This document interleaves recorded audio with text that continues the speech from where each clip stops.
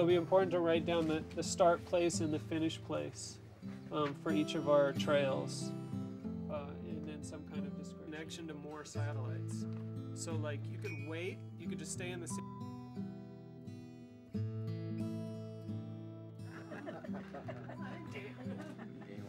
You did find a game. 40 degrees north of the equator.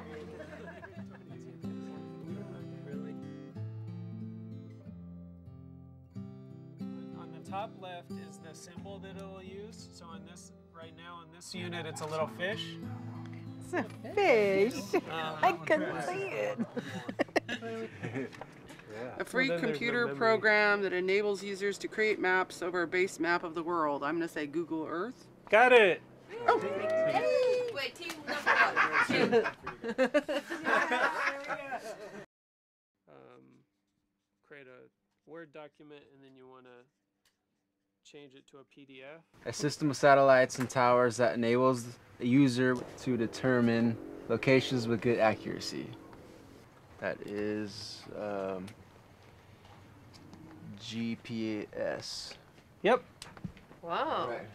So the way a GPS unit works is uh, each of these little receivers is communicating with satellites that are floating above us somewhere.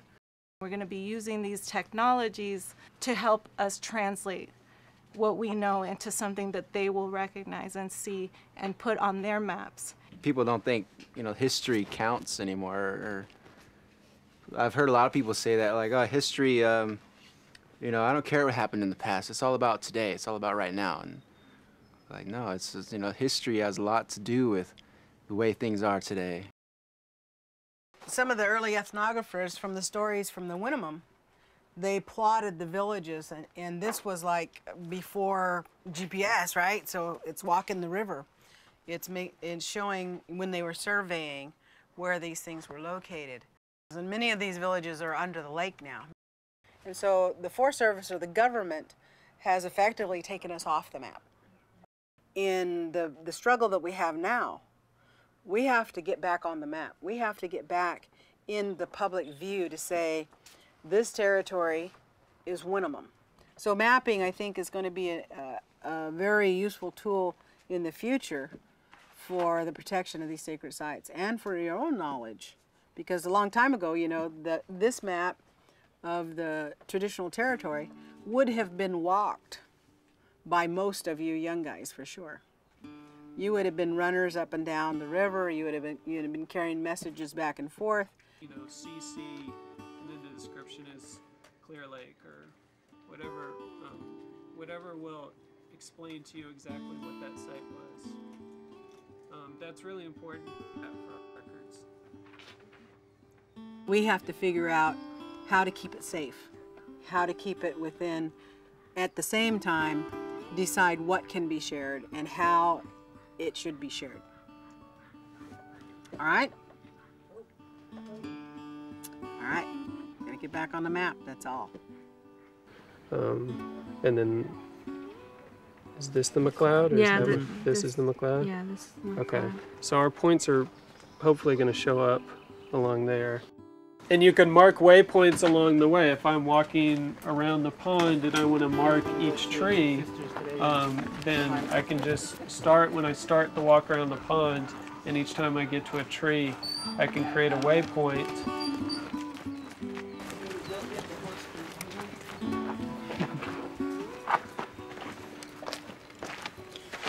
So, How do I do? first? Menu? Menu. Menu again. Put you gotta push it twice. You go to mark. You Gotta know these things. Stamp.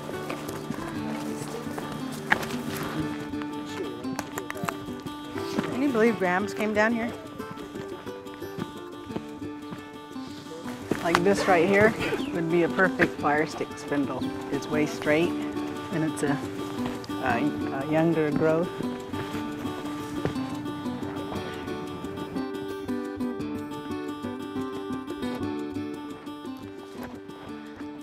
This is Samwell Cave.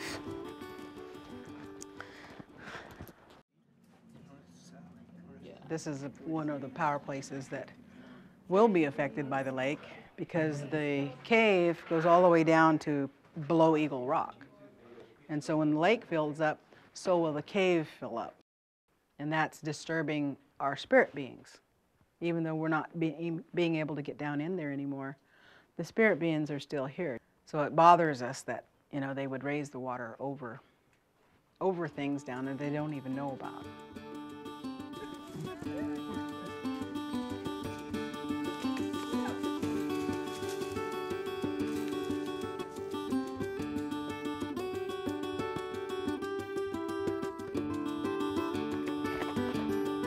Don't fall on me.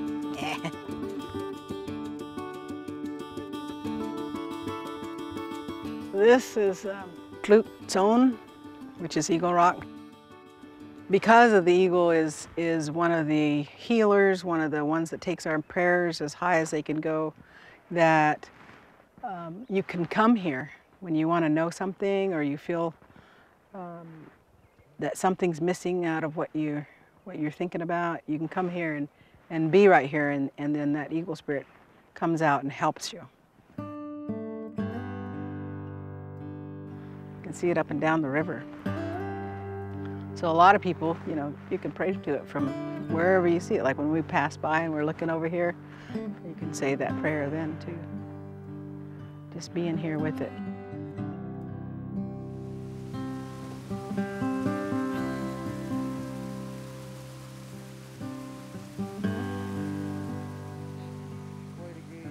Maybe the young people can figure out how the mapping can be used to claim their traditional rights on that traditional cultural property, even though we don't own it nowadays. We still own it in a traditional sense. It's still ours. That land is what makes us distinctively Winnemem.